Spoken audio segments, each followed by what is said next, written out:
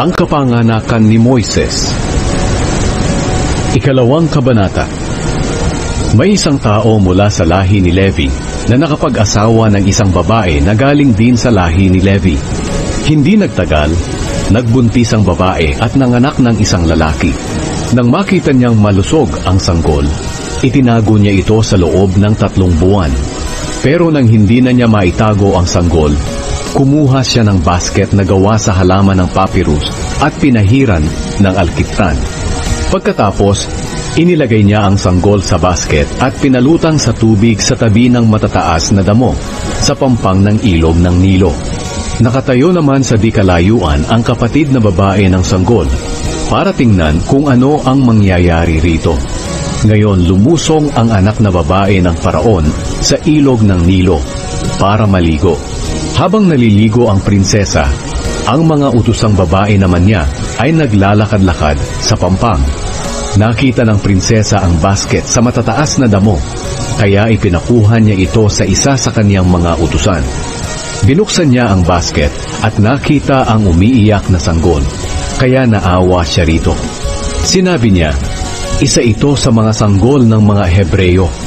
Pagkatapos, lumapit ang kapatid na babae ng sanggol sa prinsesa at nagtanong, Gusto niyo po bang ikuha ko kayo ng isang babaeng Hebreyo na magpapasuso at mag-aalaga sa sanggol para sa inyo? Sumagot ang prinsesa, Sige. Kaya umalis ang kapatid ng sanggol at pinuntahan ang kanilang ina at dinala sa prinsesa.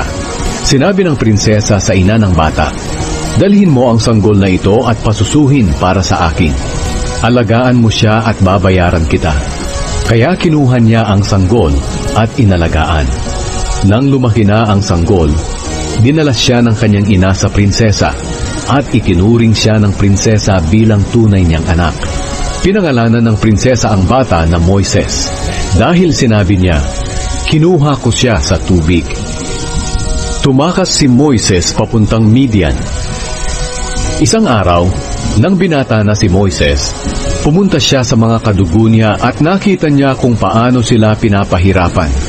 Nakita niya ang isang Ehipsyo na hinahagupit ang isang Hebreyo na kadugo niya. Lumingali nga si Moises sa paligid kung may nakatingin. At nang wala siyang nakita, pinatay niya ang Ehipsyo at ibinaon ang bangkay sa buhangin. Kinabukasan, bumalik siya at may nakita siyang dalawang Hebreyong nag-aaway. Tinanong niya ang may kasalanan, Bakit mo hinahagupit ang kapwa mo Hebreyo? Sumagot ang lalaki, Sino ang naglagay sa iyo para maging pinuno at hukom namin? Papatayin mo rin ba ako?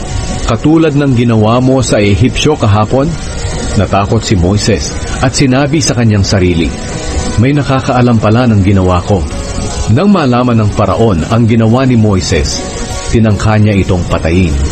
Pero tumakas si Moises papuntang Midian para roon manirahan. Pagdating niya sa Midian, naupo siya sa gilid ng balon. Ngayon dumating naman ang pitong anak na babae ng pari ng Midian para umigib at painumin ang mga alagang hayop ng kanilang ama. May dumating doon ng mga pastol at pinapaalis nila ang mga babae at ang kanilang mga hayop. Pero tinulungan ni Moises ang mga babaeng anak ng pari at pinainom pa niya ang mga alaga nilang hayop. Pag uwi ng mga babae sa ama nilang si Ruel, tinanong niya sila, Bakit parang napaaga ang pag-uwi niyo? Sumagot sila, May isang Ehipsyo po na tumulong sa amin laban sa mga pastol. Ipinag-igib niya kami ng tubig at pinainom ang aming mga hayop. Nagtanong ang kanilang ama, Nasaan na siya? Bakit ninyo siya iniwan? Tawagin ninyo siya at anyayahang kumain. Tinanggap ni Moises ang paanyaya at pumayag siyang doon na tumira sa bahay ni Ruel. Nang magtagal, ipinakasal ni Ruel ang anak niyang si Zipora kay Moises. Nagbuntis si Zipora at nanganak ng isang lalaki at pinangalanan ito ni Moises na Gershom dahil sinabi niya, Dayuhan ako sa lupain ito. Pagkalipas ng maraming taon, namatay ang hari ng Ehipto pero patuloy pa rin ang paghihirap ng mga Israelita sa kanilang pagkaalipin. Humingi sila ng tulong at umabot sa Diyos ang kanilang hinaing. Narinig ng Diyos ang kanilang hinaing at inalala niya ang kanyang kasunduan kina Abraham, Isaac at Jacob. Nakita ng Diyos ang kalagayan nila at naawa ang Diyos sa kanila.